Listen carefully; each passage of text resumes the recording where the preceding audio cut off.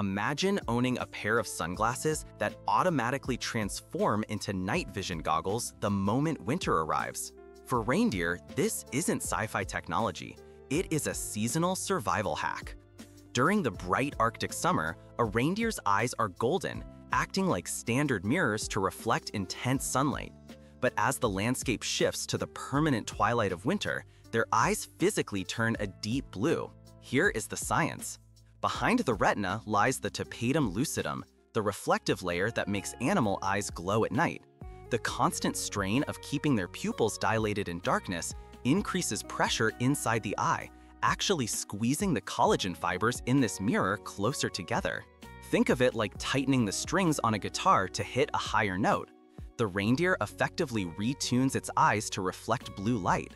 This allows them to see ultraviolet light, spotting white wolves or lichens that would otherwise vanish against the white snow.